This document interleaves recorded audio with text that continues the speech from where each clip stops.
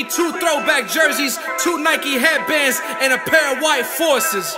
Indie Tribe save lives. And make sure when you spell that name, it's all lowercase yeah. with a period. Really came in the game of fortune and fame and said I didn't want it. They doubted, they doubted. I found a team, we met on lane, and now they all say that we bout it, we bout it. We got more rings than Audis, I'm Audi. My team bring the heat like the Saudis. Live in the South with my family from Cali, and shout out to Bay, we don't live in the Valley. No. My Hello, I'm Grant Gonot, and this is the eighth episode of the moG Cast. Please, right now, subscribe to our channel, follow our Instagram, and check out our website. And the link to the website will be in the link in the description.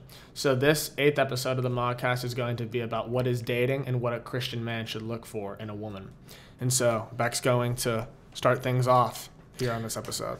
Yeah, so um, dating isn't outlined per se in the Bible, right? We don't get a, you know, first dating 212, this is how we date, right? We have to, this is the part um, of the Christian life and knowing who God is and then knowing His Word that He still speaks to us today and still gives us instructions and He gives us a manual on how to go about um, dating, which is like a new cultural thing, I guess you could say.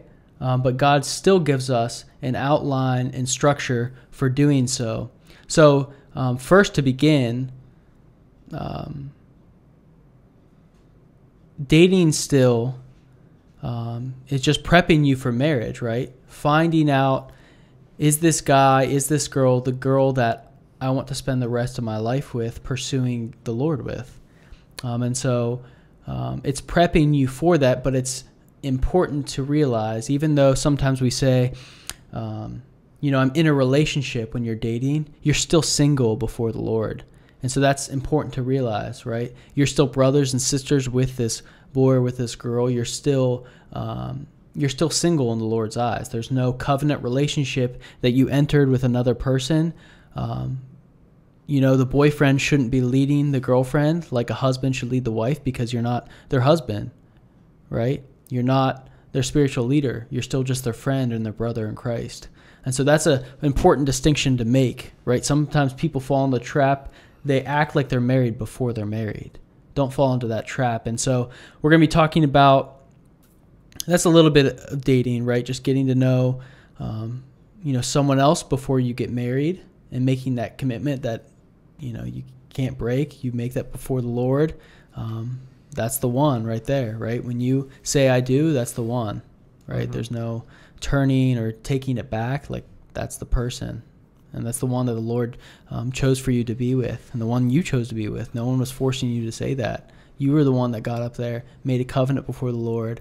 I'm going to be one with this person for the rest of my life. And so, um, dating is, is super important, and it's something that uh, every you know everyone pretty much wrestles with, wants to know about, how to go about it, how to do it in a godly way, or sometimes we don't want to know how to do it in a godly way. We want to do our own thing and then we pay for it later, right? We find the, you know, repercussions or the con- consequences for it later because we didn't acknowledge the Lord and we didn't bring him into it, right? We get uh, maybe we start out good. Maybe we are waiting for that person. We are waiting for the Lord to bring us that person, but we grow impatient and we don't find contentment in the Lord, and instead we try to rush to find the person that we're supposed to be with, not in the Lord's timing. Then we find ourselves in trouble, or you know, just you know, other things, right? We um, think we're married before we're not, um, and so this is important. This topic is important um, because you know, as Christian men, we should be looking for a godly girl, right? And so if you're listening, if you're a guy, these are some good characteristics that you want to find into a girl when you start to date her, before you date her, before you marry. Or if you're a girl listening to this, what are some things um, that you should be striving towards? What are some uh, characteristics that you should be emulating Jesus in? Um, and so it's good to listen in both ways. Maybe you're pretty young and dating's not even in the, you know, the things that you think about well, this is all, always good information to store up and to think about because God's word never returns void and we're always going to, you know, need it in circumstances. That's why we listen to every sermon even if it doesn't apply to our life right now because one day it's going to, right? Because we have to store up God's word um, and we don't want to be caught not knowing what to do when a situation when a situation arises. So let's dive into a couple characteristics of a godly girl um, that a man should be looking for. And I want to say this right before we begin. Don't be expecting something from a girl uh, that you aren't willing to do yourself, right? Eventually, you know, you're going to be a husband if the dating relationship progresses, you know, and ultimately leads to marriage. You know, you're going to be the the leader of this girl. You're going to be called to lead her spiritually. You know, and that's a big calling. And you know, you can't lead someone well in a place that you've never been. And so if you're looking for a girl and you say, oh man, I want her to have a beautiful relationship with the Lord where she's constantly in her Bible and constantly in prayer, but you haven't touched your Bible in months, how is that going to play out? How is she going to be the one who's, um, you know, pursuing the Lord and you're kind of just lukewarm, cold hearted? Um, you're going to be unequally yoked, right? You're going to be two different places with the Lord. Um, so you can't be expecting some girl to be this perfect Christian when you're, you know, so far apart from that. Or maybe you're looking and you want a girl to be so amazing in service, but you never serve anybody, right? That's a, you know, that's kind of pharisaical or kind of external, you know, externally motivated with religion, right? You're just looking for someone to do something, but hypocritically, you don't want to do it yourself. And you say you want this in a person, um, but you're not willing to do it yourself. It's like not practicing what you preach, right? Uh, so make sure that these characteristics you're willing to do yourself. And so the first one I'm going to start with is is this girl loving? Does she love people well? Uh, you see, Jesus said that the disciples, the Christ followers, should be marked and known by their love. So, does this girl love other people? Do other people look at her and say, man, she is so sacrificially loving other people? She's so good at it. She goes above and beyond to meet their needs, to meet their interests, even at the expense of her own. She just loves people. She's always looking for the hurt, the lonely, the outcast. Um, is she always making time for other people, even when she's tired? Um, you know, how well does she love other people? And you see, as we go through these different characteristics, you're going to find that to a godly person, godliness is attractive, right? To people of the world, other things are attractive, like money, looks, whatever, power. Uh, but to a Christian man or a Christian woman, right, godliness is attractive um, and people are gonna um, want that. And before we get more into that, don't try to be godly to attract another girl. That's also like external religion. Mm-hmm. Be godly because God wants you to be holy, right? That's like setting up an idol in your life. That girl might be an idol in your life. If you're trying to be godly just to please her, then that's just superficial. It doesn't mean anything. You need to be transformed in your in your mind and in your heart um, before you are transformed, you know, externally where other people see your works, right? Um, so be godly because God wants you to be holy. So genuinely, you know, pursuing holiness and sanctification that will be attractive to another girl, not some fake holiness that you try to muster up around her, right? That's that's just fake. And even if she uh, does like you for those reasons, once she finds out who you really are, it's going to fall apart, right? So genuinely desire sanctification and holiness. And that's why um, being loving here is so attractive and such a good quality to have because Christ followers should be known by that. But then also think about when you enter the marriage relationship, is she going to prefer you? Is she going to uh, sacrifice for you? Is she going to choose to um, commit to you and love you and prefer you, um, even when things get hard?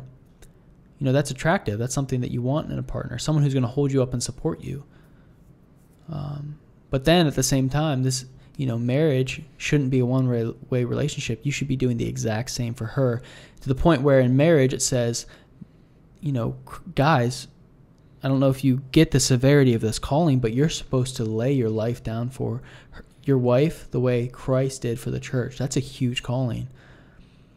You don't just walk into or stumble into that one day and be good at that job. That's a huge job that takes a lifetime of working at. So, are you working at it right now? Are you prepping to get married right now? Are you working on loving people so well that, you know, you can one day say, man, I love my wife like Christ loved the church. That's crazy. That's a big calling. That's a huge thing to say. So is she loving? That's a big thing because Jesus wants you to be known by your love. And a person who's really, God's got a hold of their heart, they're going to be filled with love because God's going to be influencing and filling them to overflowing with love, right? So that's the first one I would say. Another one would be Are they being discipled by an older woman? Right? Um, you know, in the Bible, and it talks about, especially in Titus, you know, is the younger woman getting discipled or being taught by an older woman who has more experience and life experience, right? Um, this is attractive because she's humble enough to receive teaching and instruction and advice um, and she's getting attention and she's getting cared by and wisdom from another godly woman in the faith. You see, if you're not getting discipled by, you know, a godly girl, um, if she's not getting discipled by a godly girl, then where's she getting her wisdom from? Who's she listening to? Where's she getting her counsel from? Where's she get her counsel from? Uh, because is she listening to the world for advice? Is she listening to, um, you know, her, her, parents who might not be godly? I don't know. Is she listening to her friends?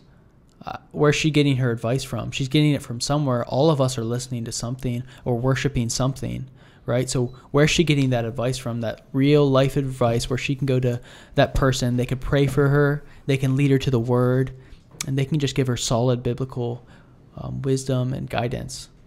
Um, so is she willing to be discipled? Uh, how about this one? This is a big one that I really like. I think it's so important if you're a Christian guy before you start dating a girl. Does she have a respected Christian leader that you can go to and ask about her character? Right? Is there a youth leader? Is there a pastor? Is there, you know, a Christian teacher or mentor that you can go to and ask about their character? Because if not, is she really plugged into community? Because that's one of the biggest things that God calls us to in Scripture is to be in fellowship and to be in a local body. And so mm-hmm. that might not be a good sign if there's no one in her life that you can, you know, go to and like sit down and say, hey, is this like, you know, a good girl that I should be pursuing? Or should I stay away from her? She needs some more time in sanctification because obviously her friends are going to tell you, yeah, she's a great girl, blah blah blah blah blah, because that's her friends. But a respected leader should be able to tell you the truth, no matter what it is, right? Um, and so that's a big one. Proverbs says a good name is better than gold or silver, right? Is her reputation among uh, the leaders good and reputable, or is it kind of so-so, average, or you know, not so good? Mm-hmm. Um, so those are a couple points that I think are super important. Does she love well because Jesus loved well? Is she being discipled by someone who's going to give her godly wisdom into situations and circumstances in her life? And is there someone you can go to that you respect, that she respects, that can give you a high opinion of her? Um, so those are three, and I'm going to hand it over to Grant to give you some insights from Proverbs 31 about what a godly wife looks like. And so, before someone's a wife, right? They're a daughter of the king, and they're your, your sister in Christ. And so, they don't. People don't just flip the switch in character as soon as they become married, right? So a godly wife doesn't certainly just become a good wife the moment they say I do you see, it was years of character that they built up mm-hmm. beforehand. And so that's why Proverbs 31 is applicable because this good wife had great character before she was married. So Grant gives some insight. So, yeah, all the points Beck made are really good points, and especially the ones of going to a leader and that aren't really ones that are touched on a lot, but are true. And we need to make sure that their reputation among other people is is one that is well reputable. And mm-hmm. Proverbs 31 talks a lot about these traits that we should be hearing about. And Proverbs 31 is a very in depth chapter. The first nine verses, King Solomon writes most of Proverbs, but here we have a different author for the last chapter mm-hmm. in 31. In the first nine verses, really talks is a more a dialogue with the son. And then ten, verse 10 throughout the rest of the chapter, it's the virtuous wife and what she looks like. And so going along with everything before we get into it is like Beck said, marriage prepping that it starts it starts now. It doesn't start once you're mm-hmm. married. Mm-hmm. You're prepping now for it. And once we're in marriage, there's a lot of virtues all throughout Proverbs 31 that we could sit here forever and mm-hmm. dissect. But I think the main verse that sticks out here, if we hop down to verse 30, Proverbs 31:30 reads, "Charm is deceitful and beauty is passing, but a woman who fears the Lord, she shall be praised."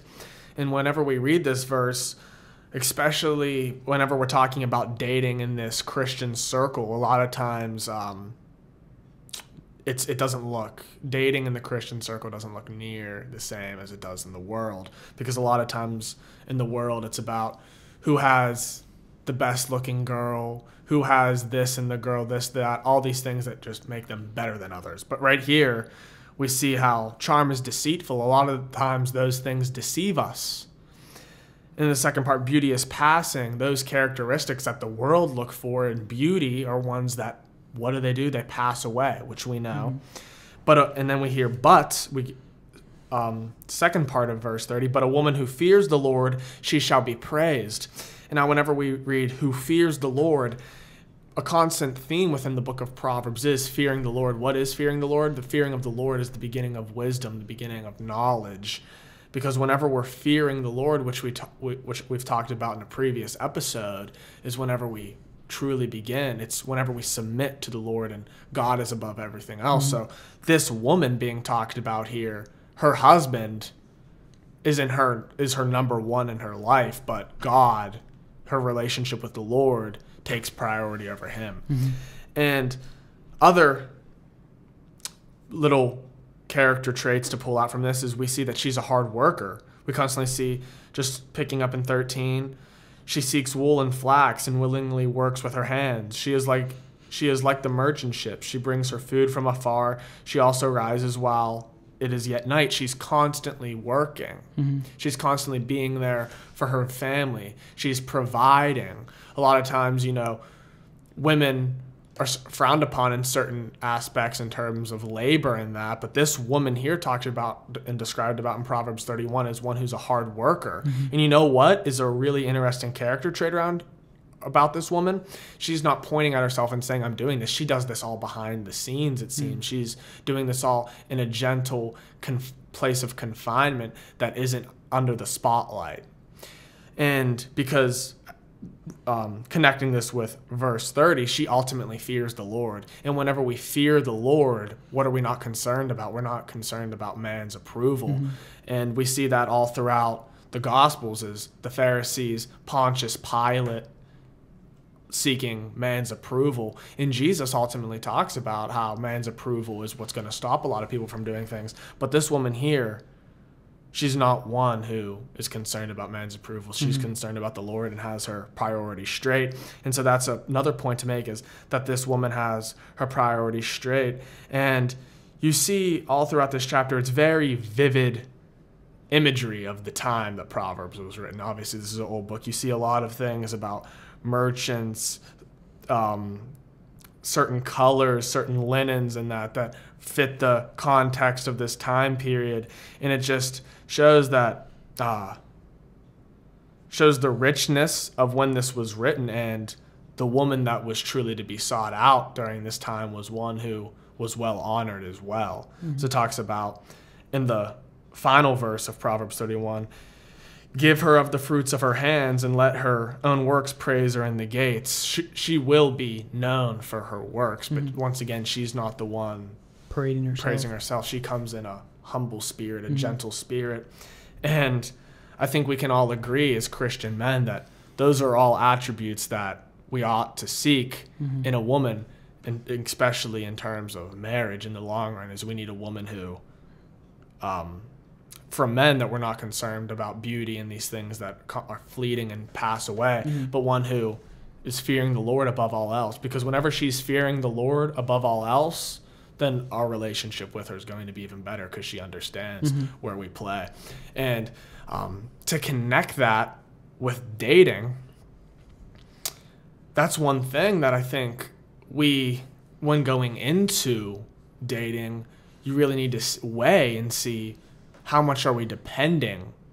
Where's the way? The seesaw of depending on each other. Both parties members should be fearing the lord and keeping that relationship first because if not that sometimes one person's relying more on the other. And guess what? When one person's relying more on the other we usually don't the person usually doesn't meet those standards. Mm-hmm. We run out of fuel easily but whenever we're in the we're, whenever we're in the Word and understand the Lord, our love is more pure, more perfect, because people, our relationships with people are being put in the places that they were intended to be put. We're not, we're not here expecting all of these things that we usually do whenever we're looking through the wisdom of the world.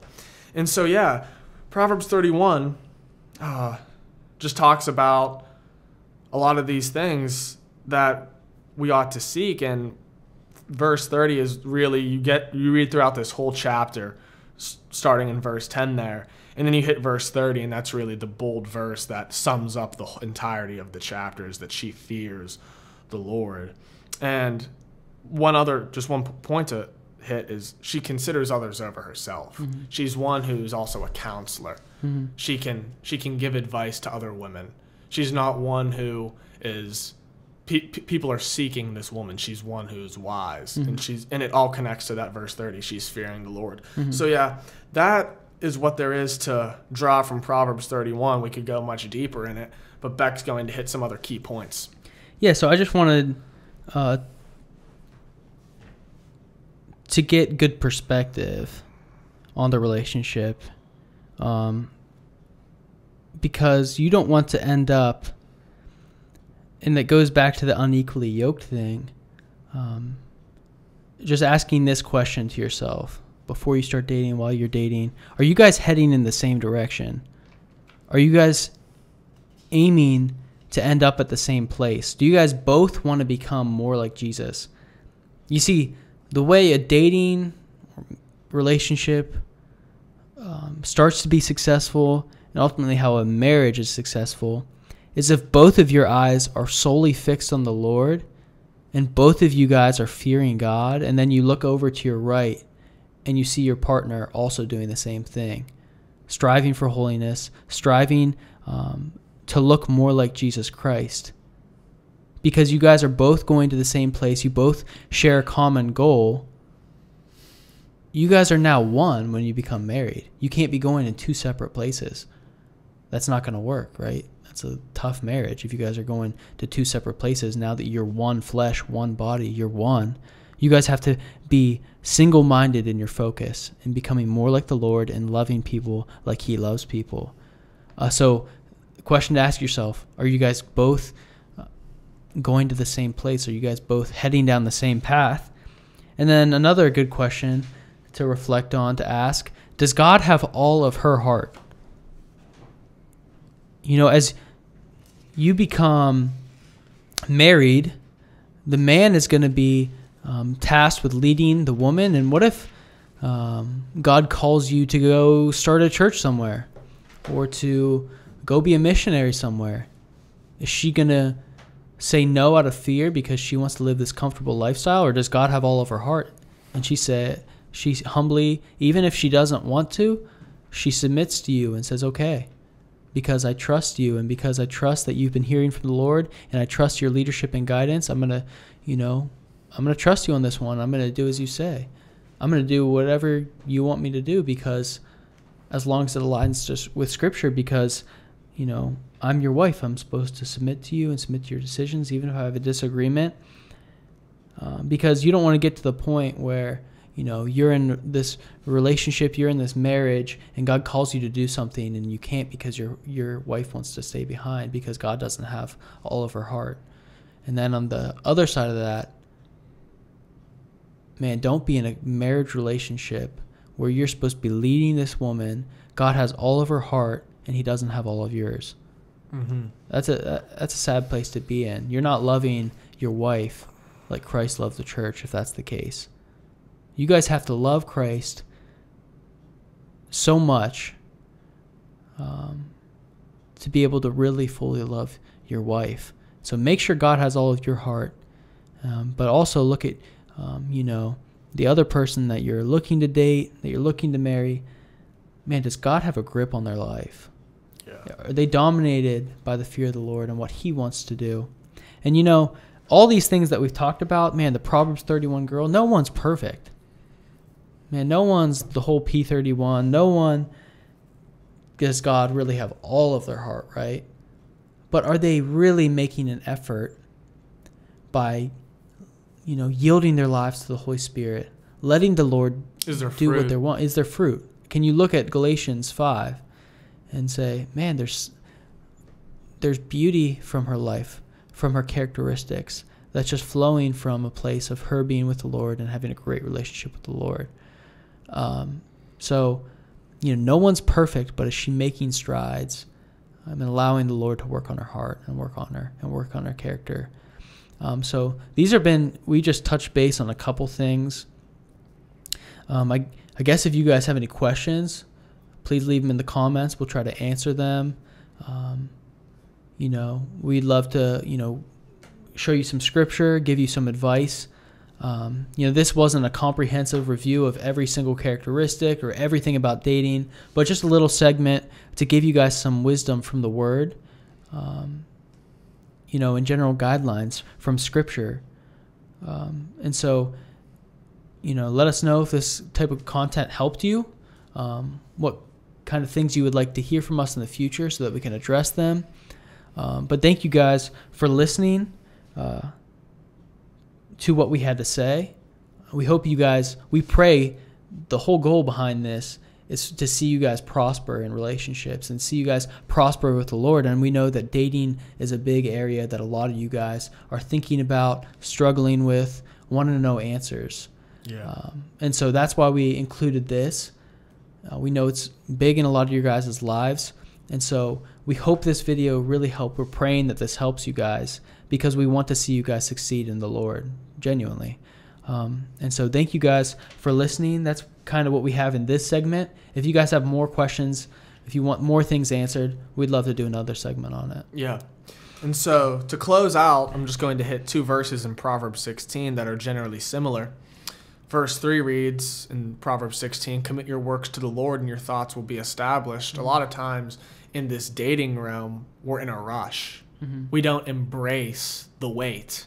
Mm-hmm. There's this season of singleness is for a reason. Mm-hmm um, once we get married, a lot of times we don't take on all of the thoughts of, okay, now there's the potential for children. Mm-hmm. There's this potential and opens up the door to all these things. How, what are both of us, we're working two jobs look like? What are the financial situation look yeah. like? We don't take on all of these things and we're in such a rush of what the world is showing us to get into this relationship.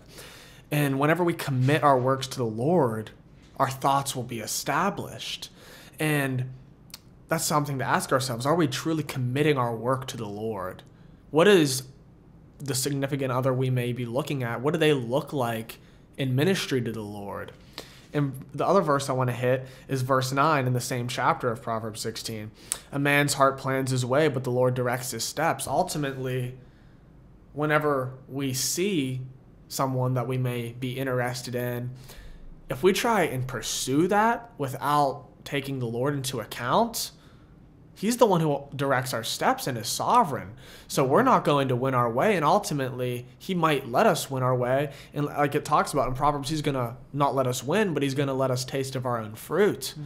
So we shouldn't be a rush into this topic that we're talking about because it's a very sensitive topic that st- stirs a lot of emotional and sensual and sentimental pleasures in the heart and people can be very hurt by these things and a lot of times just get blurred ideas of what love is but whenever we look at the garden of eden we see its true intended purpose and that's what we're tr- truly trying to elaborate on here mm-hmm. and show you guys is whenever adam was whenever eve gave god to adam he wasn't searching he was asleep mm-hmm. and i know that's a cliche thing a lot of people say but that's a very big point is a lot of time a lot of that's a very cliche saying, but it's true. A lot of times we are in such a rush seeking, and that's not bad to seek, but whenever the seeking process is over the process of our relationship with the Lord, well then we can look at Proverbs 16:3 and we can say that our works aren't being committed to him. Mm-hmm. So our thoughts aren't going to be established. That's some practical insight of how to look at the scripture and apply it. So yeah, like Beck said, we're hoping and praying that these insights help you guys and we hope that if you you can drop stuff in the comments because there's a lot more to address regarding this topic in terms of distractions that come along the way that we could go on for uh, forever and how to avoid those and how to cultivate other areas in our lives here. And we're looking to strive for godliness as men of God on this channel and there's many other ideas that we would like to hear from you guys and we want to know and we're hoping and praying that this helps you. So this is the conclusion to the eighth episode of the moG Cast and um, once again please subscribe to our youtube channel follow our instagram and check out our website. And this along with all of our other episodes will be up on audio platforms very soon. Thank you for tuning in. God bless. Peace